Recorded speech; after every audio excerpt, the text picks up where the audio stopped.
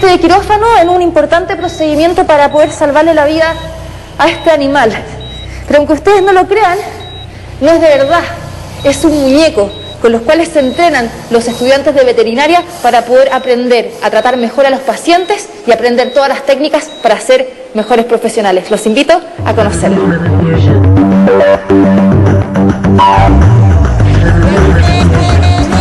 Llegamos al Centro de Investigación Veterinaria de la Universidad Andrés Bello, ubicado en Colina, donde usan muñecos simuladores de animales para que los alumnos aprendan a realizar múltiples procedimientos en perros y gatos y tratarlos bien cuando tienen alguna enfermedad como accidentes, leucemias o infecciones, que son las más comunes.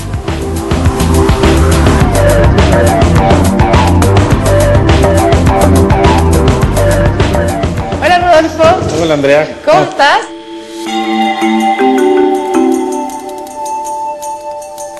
¿Cuál es el objetivo que tiene eh, tener estos muñecos de entrenamiento?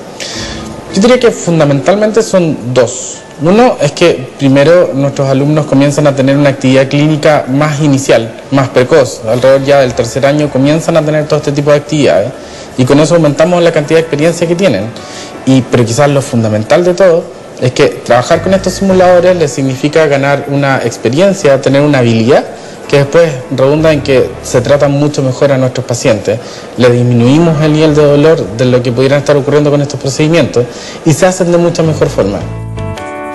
En este centro hay 40 muñecos de perros y gatos que fueron importados de Estados Unidos, con un costo por unidad en promedio de un millón de pesos. Simulan distintas patologías, esto sumado a un equipo de máquinas de última tecnología y pabellones quirúrgicos. Pero ¿cómo aprendían los alumnos cuando no tenían estos simuladores? Antes lo que había que hacer era aprender, quizás más que todo con la experiencia, lo que ocurría en el ejercicio profesional después de la universidad. Eran muy pocas las oportunidades que uno tenía dentro de la universidad de aprender. Eh, y eran más bien como una experiencia, dos, tres, cuatro veces de hacer algo, eh, pero era difícil poder saber si es que habían aprendido esa habilidad dentro de la universidad. Hoy día no, pues con esto nos aseguramos de que tienen la habilidad antes de eh, atender a un paciente. Estos muñecos representan diferentes razas con sus tamaños reales. Los huesos están hechos de resina plástica y su pelaje es sintético. ¿Cómo funcionan por dentro? ¿Lo podemos abrir? Sí, para ver claro. cómo es? Este, por ejemplo, tiene pulmones dentro. Ah, Si te fijas, esto, esto que está acá, ahí. estos son pulmones.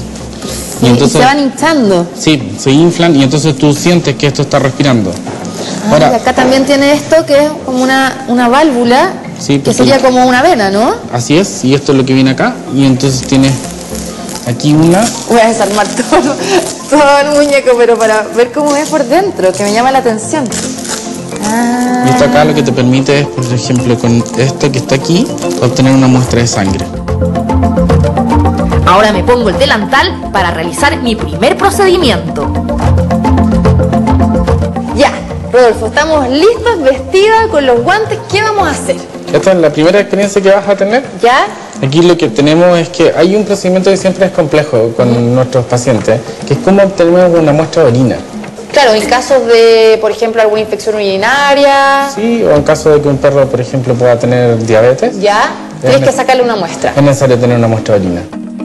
Para eso hay que introducirle al animal una sonda por el tracto urinario, lo que requiere experiencia para evitarle mayor dolor. Voy a aprender a hacerlo.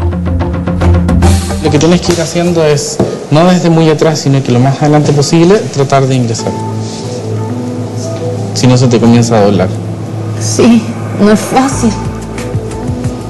Ay, qué nervio. Aparte que no puedo hacerlo. Ahí, ahí entro, ahí entro. Lo que tienes es que Entonces la que- jeringa tienes que ponerla acá adelante, ¿Ya? que te ingrese bien ahí. Ahí. Ya. Y ahora tendría que empezar a... Y ahora haz presión hacia atrás. Si no te sale, Ahí está saliendo. Ahí está saliendo el líquido. O sea, esto sería la muestra de orina. ajá. Lo que tienes que hacer es Ahí se ve. están arriba, ¿sí? Pero el color es como de orina, ¿verdad? Sí. Tenemos que simular todo. Luego la muestra se deja en un frasco donde en la realidad iría al laboratorio médico para ser analizada y ver qué enfermedad tiene el perro.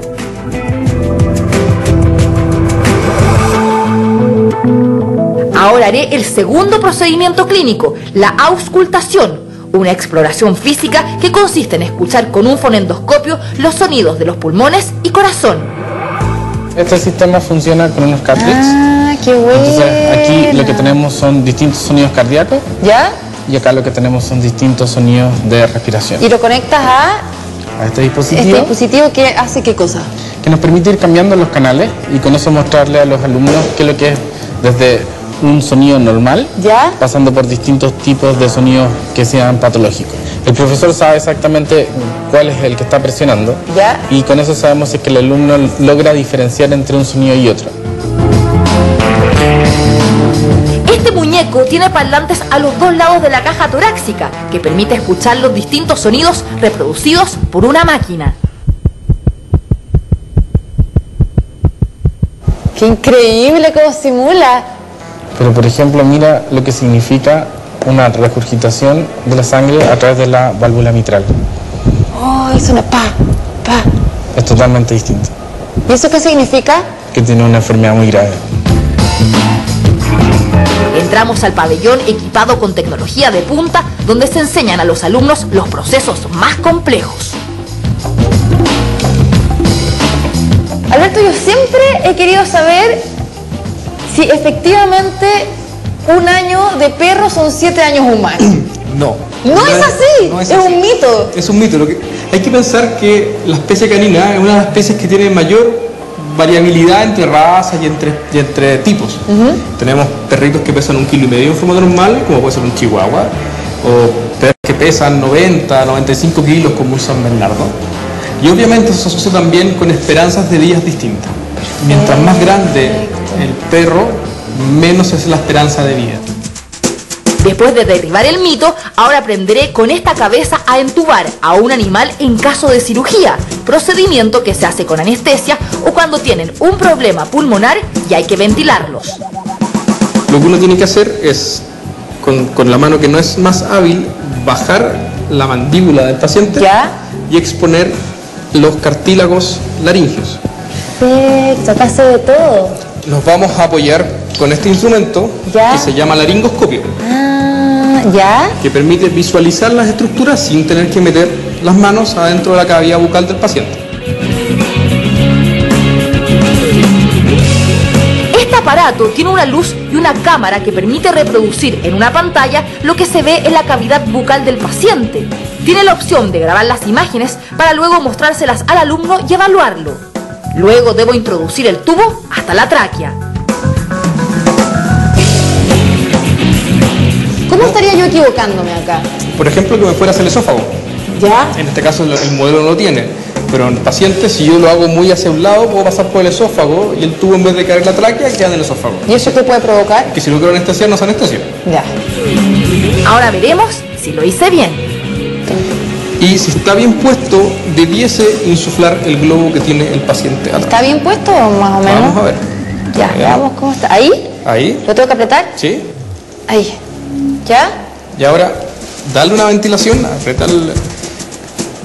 Y mira el globo.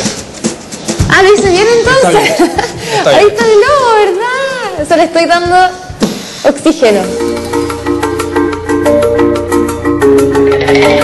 Llegó el momento de aprender la prueba más compleja, realizar una cirugía laparoscópica menos invasiva, ya que reemplaza las incisiones de un bisturí por orificios pequeños.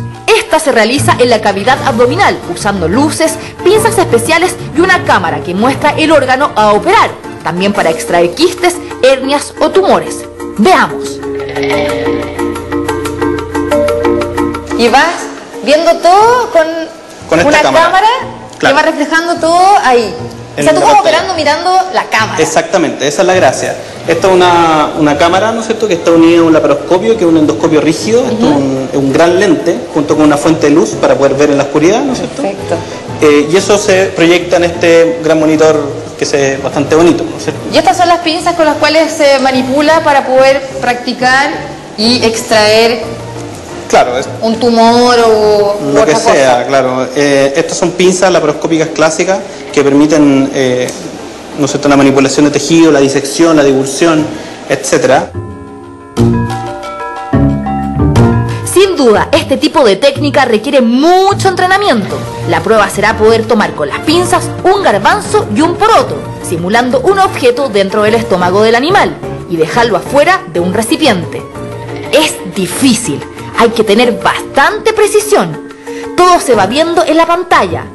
Después de varios intentos fallidos, lo logré.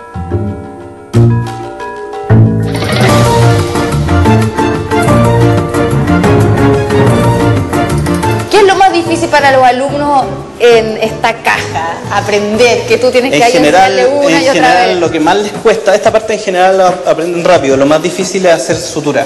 ¿ya? La sutura intracorpórea está Adentro, con esto. Con un portabuja laparoscópico, Qué complicado. ¿Ya? como este, ¿no es cierto? Y con eso tienes que suturar. Claro. En general, esta técnica es usada comúnmente en humanos, pero es relativamente nueva en animales. Hasta ahora, acá 120 perros han sido operados con la paroscopía. Para gatos es más complejo porque se requiere instrumentos especiales más pequeños. La última fase de entrenamiento es el uso de la sala de rayos X, donde se obtienen radiografías a los animales.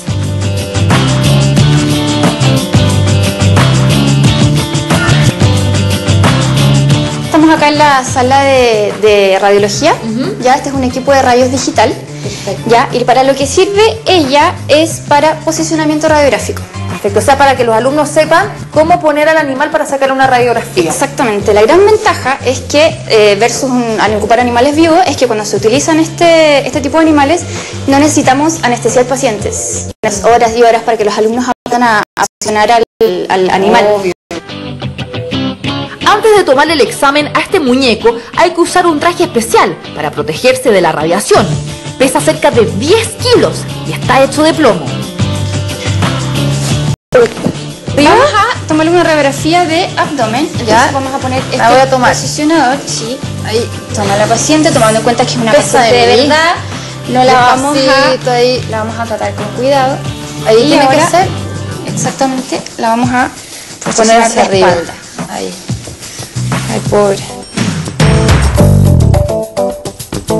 Se apaga la luz y comienza el proceso.